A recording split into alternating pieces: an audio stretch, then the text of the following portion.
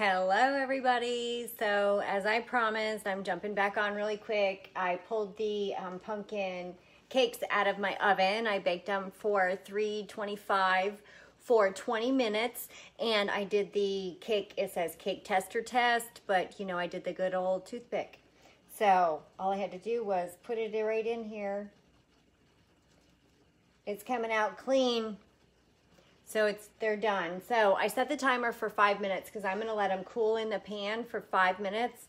And then I'm going to take them out and I'm going to put them um, on my rack to cool some more. And then I am going to put a little bit of powdered sugar on them. And I'm also going to put some cinnamon. Um, I've got some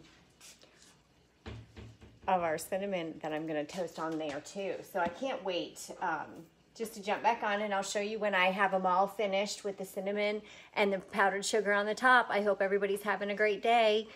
It's beginning to smell like Thanksgiving in my house now. Pumpkin cakes, two ingredient pumpkin cakes, a spice cake and 15 ounces of pumpkin. Baked them for 20 minutes at 325. Yum. Reminds me of um, like a banana muffin. In my brownie pan,